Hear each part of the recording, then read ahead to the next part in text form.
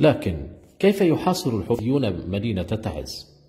يفرض الحوثيون حصارا مشددا يطوق مدينة تعز بشكل كامل حيث أقاموا أكثر من 26 حاجزا لمنع الطعام والشراب والدواء والمواطنين من الخروج أو الدخول للمدينة تتنوع طرق الميليشيات الحوثية في إغلاق منافذ المدينة فبعضها تستخدمه كمنطقة عسكرية مغلقة كمنفذ الحوبان في شمال شرق المدينة والذي يقع على الطريق الرئيس الذي يربط تعز بالعاصمة صنعاء.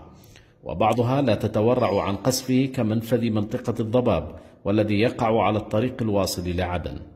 أما منفذ الدحي الذي يقع في الجهة الجنوبية من المدينة ويعرف بين أهل تعز بمنفذ الموت فإنه على مرمى نيران قناصة الحوثي.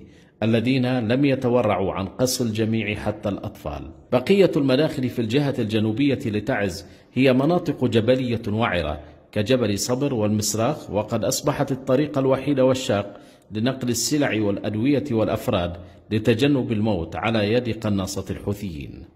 ذلك الطريق لا يضاعف المسافة فقط بل يزيد طول الرحلة بعشرة أضعاف على الأقل ويزيد من مشقة التعزيين إلى حدود غير مسبوقة.